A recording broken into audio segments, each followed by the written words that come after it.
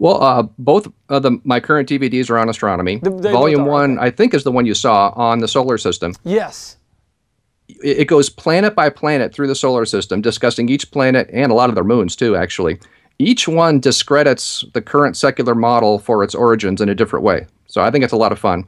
and yeah, they are very visual. Um, I, the way I look at it, I said, I have, I can show pictures of the most beautiful things God has made. And, you know, who wants to see me on there as a talking head? Nobody.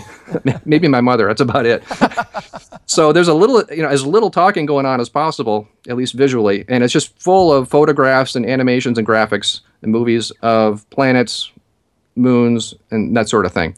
The second volume is on stars and galaxies with the same sort of approach, showing here's how the secular people ha- try to account for the origins of these, and here's why, from their own words, their own journals, their own articles, here's why their models don't work. Wow. Volume three, which is currently in production, will be about the broadest topic in astronomy of all, which is the universe, and shows how the Big Bang model, again, is logically inconsistent with itself and building on uh, even some of the concepts that we've talked about in our interview here today.